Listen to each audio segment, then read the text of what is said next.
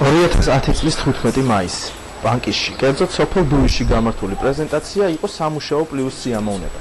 დიდი ხანია ასეთი სიტყვა არ მიგწნია და არ მინახავს ნამდვილი ტრადიციული სტუმართ მასპინძლობის ლაზათი.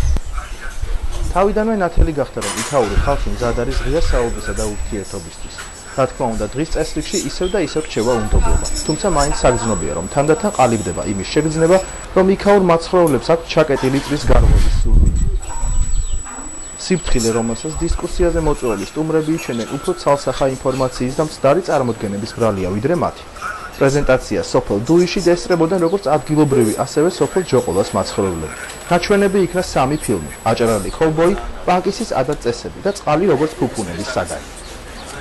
სტუდია თვითმხილველის საქმიანობამ და ამოცანებმა აშკარად ყველა დააინტერესა.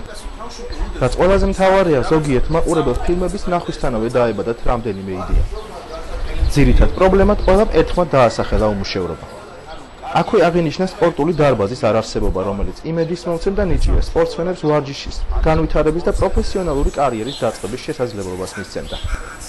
მიუხედავად იმისა, რომ ამ ხალხს რაღაც უხილავი ძალაბოჭა თანამშრომლობის სურვილი აშკარა იყო, დღესდღეობით არსებული პრობლემების მიუხედავად ყველა აღიარებს, რომ წინა წლებთან შედარებით სიტუაცია გამოსწორდა.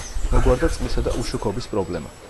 მოხდა გზების რეაბილიტაცია და რაც თავარია ხალხი თავს უსაფრთხოდ გრძნობს. ეხლა მთავარია ეს სხვა რეგიონების მაცხოვრებლებმაც გაიგოს და თავად დარწმუნდნენ რომ ბანკში წასასვლელად ჯავშან ჟილეტის ზებნა სრულიად არ არის საჭირო.